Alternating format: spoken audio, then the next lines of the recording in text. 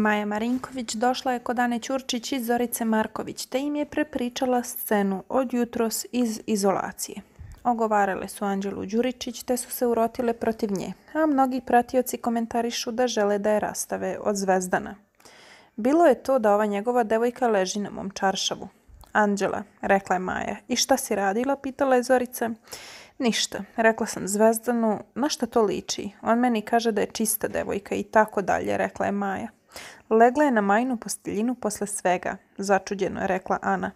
On je došao meni i probudio i kao ja hoću s tobom da razgovaram, hoćeš da dođeš u izolaciju. Kaže on meni, jako je ružno to, igraš se.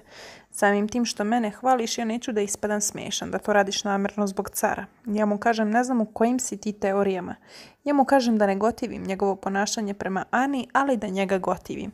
Kaže da će da spusti glavu sljedeći put. Ja mu kažem, dobro, boli me. I on mi kaže, vidiš da te boli k. Na što to liči da neko leži na mojoj posteljini? Rekla je Maja. Koji je tvoj zaključak? Pitala je Zorica. Ne znam, ni meni ništa nije jasno, rekla je Maja. Ko zna s kim on i šta priča? Dodala je Ana. To njemu neko pumpa glavu ili ga ona keca za to, rekla je Zorica. Ja kada ti kažem pusti, ja ti kažem da ne ispadne kontraefekat, rekla je Ana.